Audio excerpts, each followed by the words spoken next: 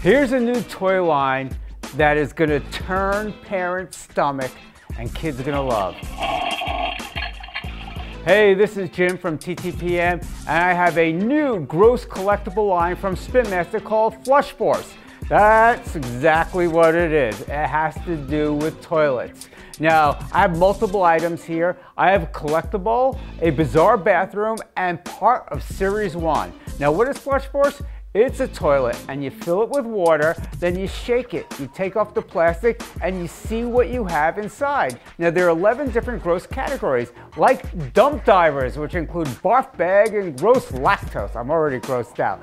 Or mean munchies like Sloppy Joe and Pooperoni. You have putrid parts, mean greens, clean freaks like sour suds and toothbrush, or foul floaters, which kids are gonna like, parents aren't, include Crocobite and Bait and Twitch. You have street freaks, squirming vermin like Farty McFly and Dung Digger, and Scuzzy Fuzzies, and last but not least, Grimy Grubs. Now, you collect all these as part of a series, and then you need somewhere to store them. So where are you gonna store them? You're gonna store them in your Collect A Bowl. Now the Collect A Bowl comes with four foul floaters and also lots of noises, like this farting noises. Not one farting noises, but obviously there's different types of fart because people fart differently.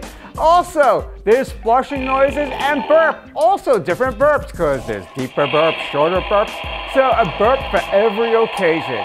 This gross new collectible line will bring out the best of toilet humor. Now, I'm calling 2018 the year of poop toys because there's gonna be a lot of them on the market, and this is one of our favorites. This is age graded four and up from Spin Master.